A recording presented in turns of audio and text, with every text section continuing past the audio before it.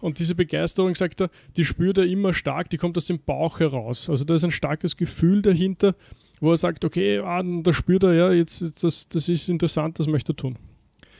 Was dadurch, dass er sich diese Zeit gibt, das nicht sofort zu entscheiden, bringt er sozusagen seinen Kopf mit ins Spiel. Ja? Und, und er, er kann es einmal durchdenken, ob das überhaupt sinnvoll ist. Und dann gibt es interessanterweise die Gefahr, wir sind jetzt noch immer bei diesem konkreten Beispiel, ja, mhm. gibt es die Gefahr, dass er das im Kopf ähm, ver, also verkopft, wie man so schön sagt, ja, und dann stecken bleibt, dann nicht mehr rauskommt. Ja, da kommen dann Ängste mit ins Spiel.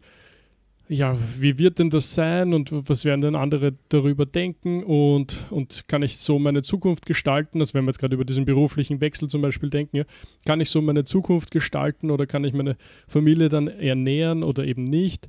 Und, und also da, diese großen Fragen quasi spielen da mit und dann bleibt es dort und dann haben wir festgestellt, dann ist es für ihn schwierig, eine Entscheidung aus dem heraus zu treffen, weil da bleibt es in diesem Kopf.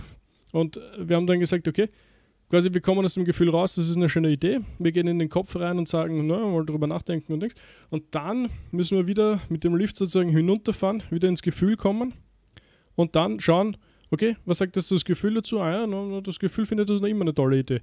Okay, passt. Kann man wieder zurückfahren, wieder rauf in den Kopf etc. Und dann haben wir jetzt ein, ein, ein sozusagen ein Zeitframe, also einen Zeitrahmen dafür vorgelegt, der zwischen zwei Tage, zwei bis fünf bis sieben Tage liegt. Also sagen wir nicht vor zwei Tagen, aber auch nicht länger als eine Woche. Eine Woche ist auch, das hat sich so ein bisschen etabliert, als der gute Zeitraum, um, um, um sozusagen äh, Einheiten zu denken. Also in dem konkreten Fall. Ja? Also einfach mhm. so was möchte Klar. ich tun diese Woche? Mhm. Was steht am Programm? Was mhm. möchte ich? Da, da ist ein Zeithorizont von sieben Tagen auch sehr gut gewesen.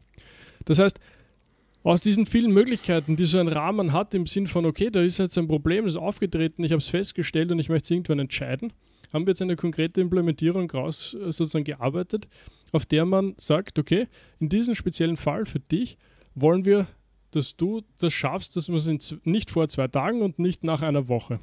Damit sozusagen dieser Rucksack sich nicht füllen kann, sondern da Sachen reinkommen und relativ schnell auch wieder rauskommen aus dieser Geschichte.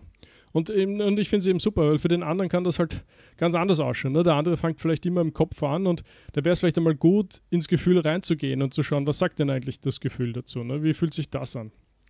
Und, und er braucht vielleicht länger, ja. Vielleicht brauchen manche Leute halt irgendwie für wichtige Entscheidungen dann einen Monat oder so, um, um irgendwie äh, alle Argumente abzuwiegen, das für und wieder und vielleicht auch irgendwann in einer Mußestunde das Gefühl zu befragen und, und überhaupt Kontakt damit herzustellen.